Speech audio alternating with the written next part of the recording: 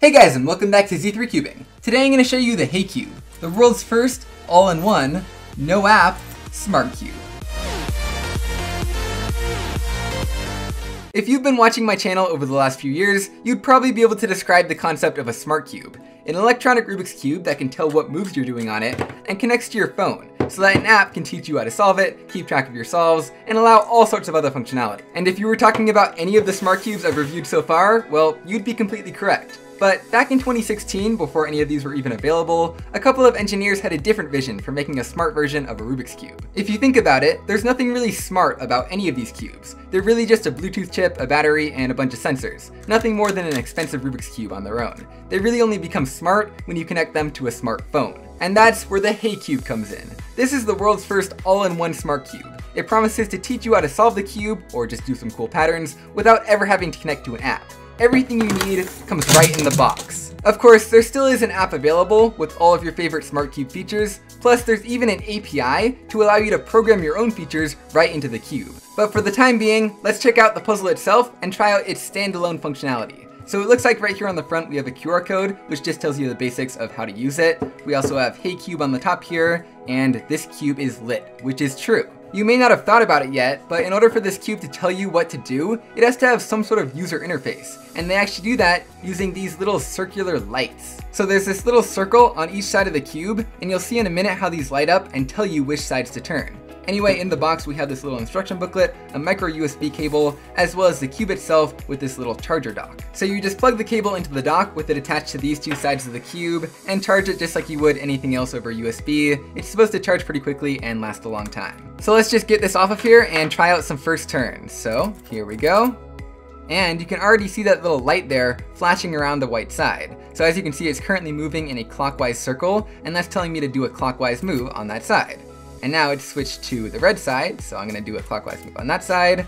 And now it's going counterclockwise around the white side. I'll do that move, and then it wants me to do that move. So it's already just telling me how to solve it, and there we go. It's now doing a cool little pattern and playing a little song. Now I believe the idea is that if you do a smaller number of moves, like I just did, it'll just tell you to do the reverse of those moves to solve it. Whereas if you do a whole bunch of moves, I think it's more than 14, then it'll just start from scratch and show you how to do it using the beginner's method. So let's try it out by first doing around 10 moves. So maybe we'll just do like the first half of a J-perm, plus a couple other random moves, and then pretend we didn't know what we did. And now it's wanting me to turn this side, and then this side, and it looks like now we're just undoing the J-perm, exactly what I did to get it here. And that's because that was less than 14 moves. What if I make a mistake though?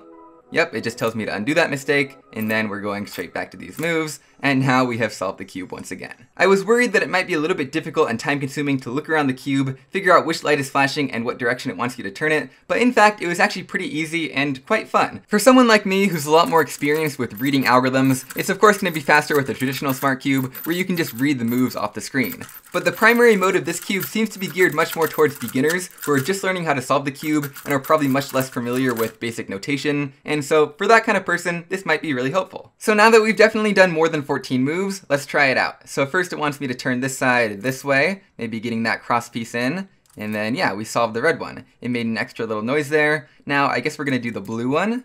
Yep, that makes sense, just like that. And now we're to turn this again that way, and again that way. I think we just did a D3. That's kind of weird.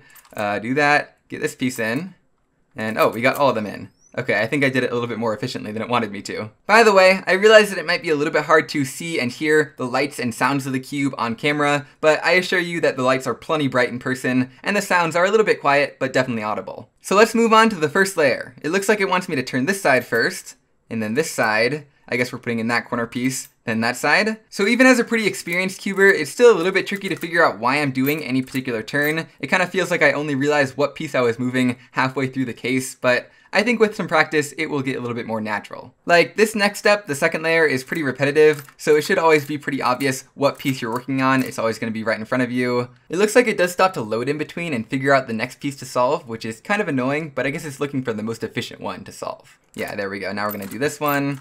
But yeah, at the very least, a beginner is going to have to look at the instructions or look at that QR code, which gives you the basic steps of solving the cube. And maybe for the last layer steps, you're going to have to watch a tutorial to figure out why you're doing the algorithms. But after that, I think it is plausible that a beginner could learn to solve on this cube. So it looks like we're doing four look last layer here. Luckily we got a really easy OLL case. And what I will say is that this would be really useful for maybe the few days or weeks that you're learning how to solve a cube and just memorizing those algorithms. But for anybody who already knows how to solve a cube or doesn't intend to learn, I would say that the basic mode on this cube isn't particularly useful. I guess it would be a lot nicer if it would just solve it move optimally every time. Or, you know, maybe just under like 25 moves. That way you could always just solve the cube efficiently and then you could switch it on to a different mode if you specifically wanted to learn how to solve it. But anyway, that's just my opinion, but speaking of different modes, let's try out the different modes. So I believe by default it's called hint mode, that's what we've been using to solve the cube, and there's an arbitrary sequence of moves that you can do to turn that on or off. There's also a different sequence to turn it onto pattern mode. And that sequence is, with white on top and green in front of course,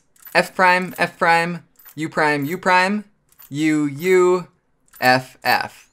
And it makes a little noise and it now turns into pattern mode. So let's see, what are we gonna do? We're gonna turn the green side, orange side. I have no idea what pattern we're doing. I'm not sure if it's just random or if it maybe goes through the patterns in a specific order, but it looks like we now have a cube and a cube pattern. So there we go. I actually don't know the algorithm for that, so maybe this is actually pretty useful for me. So yeah, that's actually pretty cool. This could really be useful for pretty much anyone, ranging from a complete beginner to even myself. I didn't even know this pattern existed. I kind of want to just keep going and see what other patterns it makes. Okay, one last one, and it looks like we got a cube and a cube in a cube this time, so that's pretty cool. Anyway, yeah, I really enjoy this pattern feature. It's obviously a lot more useful to me than the learning how to solve feature, but since we basically hit the end of what we can do with the cube on its own, let's go ahead and get our smartphone out, download the app, and see what else it can do. Alright, I just got the app set up. It was honestly really easy. I just made an account and connected it with Bluetooth. A lot less hassle than some of the other smart cubes I've used before. The app looks pretty basic, but it seems like it has most of the normal functionality. Right there at the top, there's a button that says hints, and so I think right now it's still, yeah, giving us hints on how to solve it.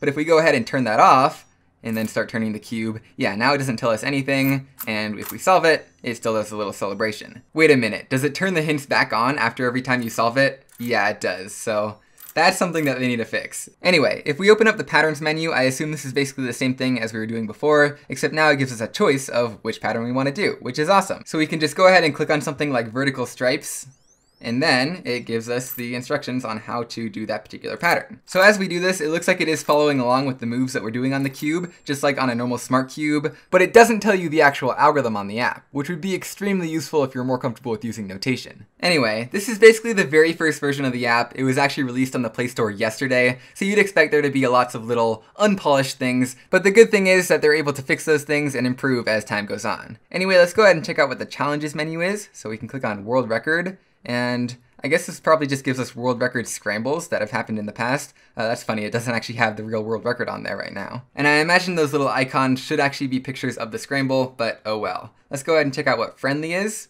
There are no challenges available, probably because I have no friends yet. Uh, daily.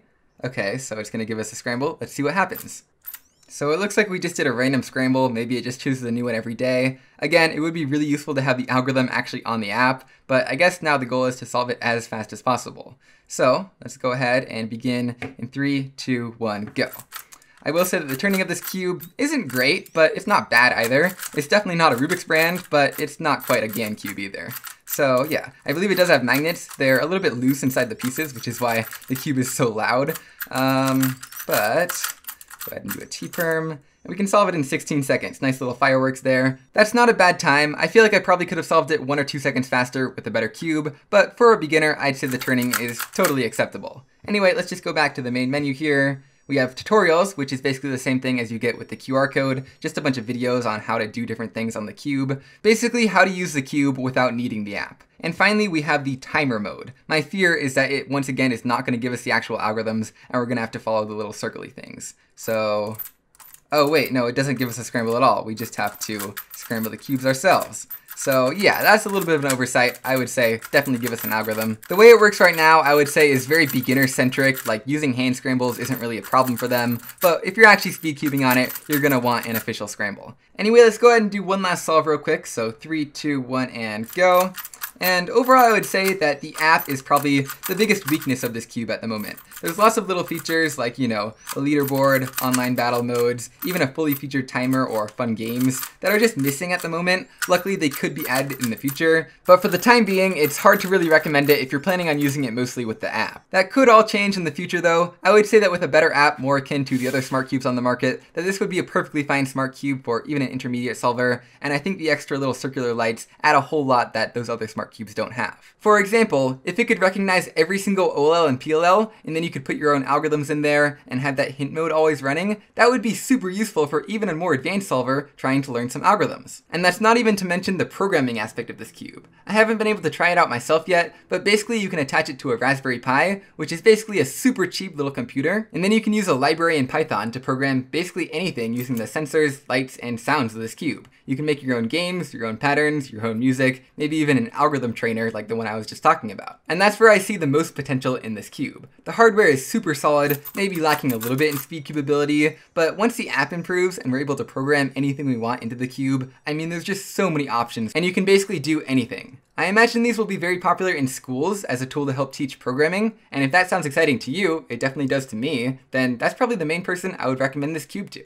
It is $99, which is quite a lot, but it does offer a lot of unique features compared to other smart cubes. If you're just into speed cubing, I mean get the GAN i Carry, it's $37 and really good for that one purpose, but for the beginner hint and pattern modes, and especially the programming capabilities and these little circular lights, you really can't get that anywhere else, and so I'll put the link down in the description to where you can get it at their website. But yeah, that's pretty much it for this video on the newest and arguably most interesting smart cube to be released in a long time. I really hope you all enjoyed. I'll see you guys next time.